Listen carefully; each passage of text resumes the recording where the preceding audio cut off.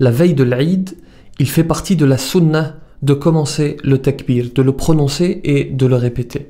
Vous savez le fameux Allahu Akbar, Allahu Akbar, Allahu Akbar, La ilaha illallah, Allahu Akbar, Allahu Akbar, Allahu Akbar, Walillahi alhamd, Allahu Akbar kabira, والحمد لله كثيرا وسبحان الله بكرة وأصيلا La preuve est dans le verset dans lequel Dieu dit ceci ولتكملوا العدة ولتكبروا الله على ما هداكم ولعلكم تشكرون Alors comment prier l'Eid Faut-il prononcer un discours La réponse est non.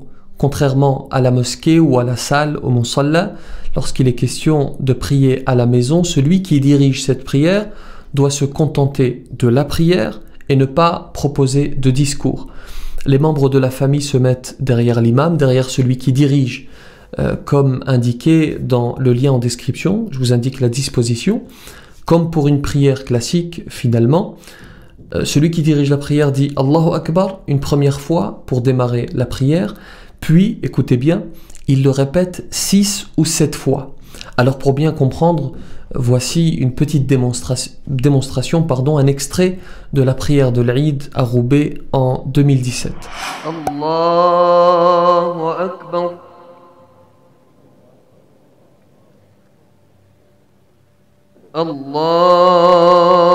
Akbar. Allahu Akbar. Allahu Akbar.